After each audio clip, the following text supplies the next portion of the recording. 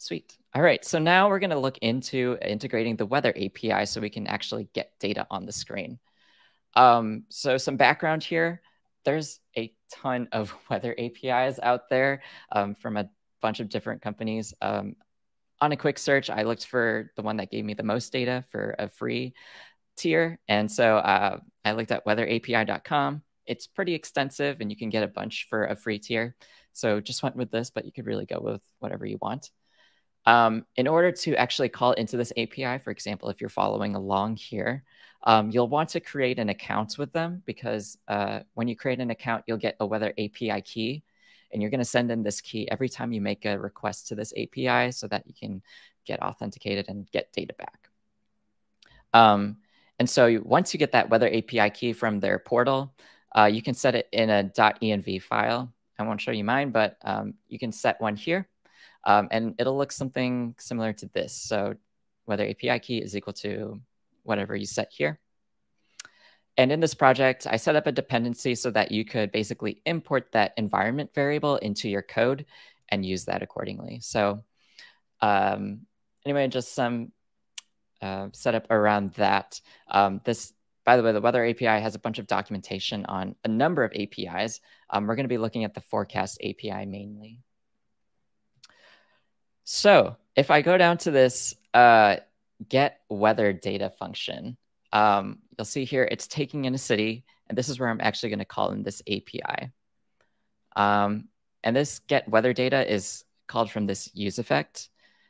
Basically, uh, for those of you not really familiar with this pattern, once this component loads, this app.js component, um, it's going to call into this use effect. And every time this city changes, we're going to call weather data.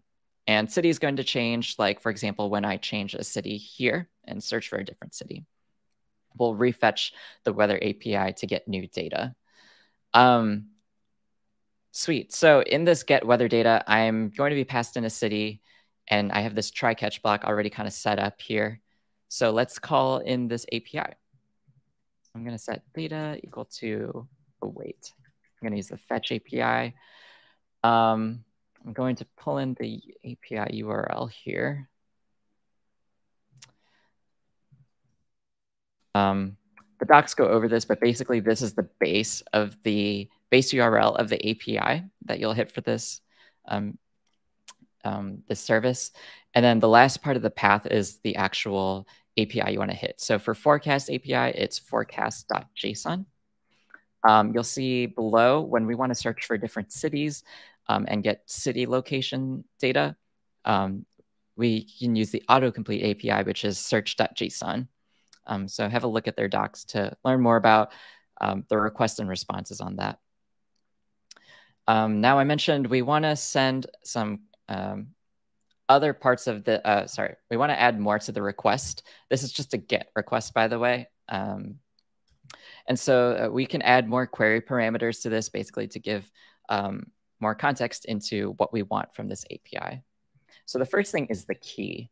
Um, the key is where we'll add that weather API key um, that we import. So going to add that weather API key variable, which is pulling from my env file.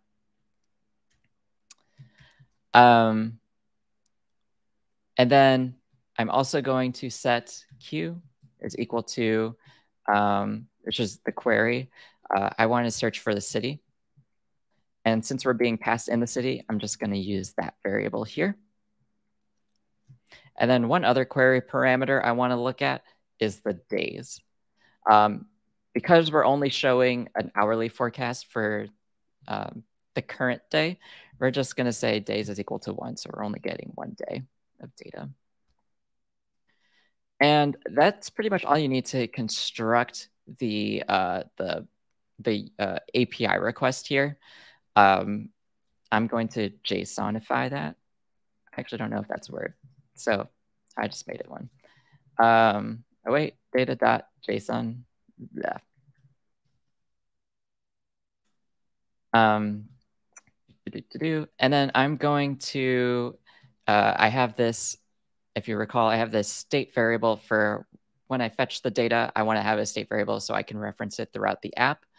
So I'm going to store that um, data in this weather data state variable. Set weather data to JSON data. Sweet.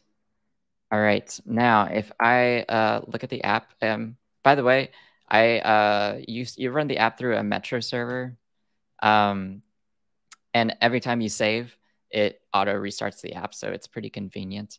Um, and you'll notice that. So here I'm, I'm pulling in that weather API data. I've got the current forecast. I'm currently from Chicago, so that's going to be the default here. Um, and uh, you can see for each hour, we get the hourly forecast in Fahrenheit and Celsius. Um, and as I click on each of these um, rows, it's updating this kind of like hero forecast. So you can see like, oh, at 12 p.m., it's 83 degrees. So that's exciting. We've got kind of basically the uh, core of our application here, um, functionality wise. Um, as I'm clicking through these, you can um, see everything updating, at least for our demo app. And of course, you can um, make this extensible. The API has ways to search for like a seven day forecast. And um, I think it has paid tier, so you can get even more flexibility. So uh, there's a lot to play with. I won't go into it, but um, take a look. It's it's pretty fun.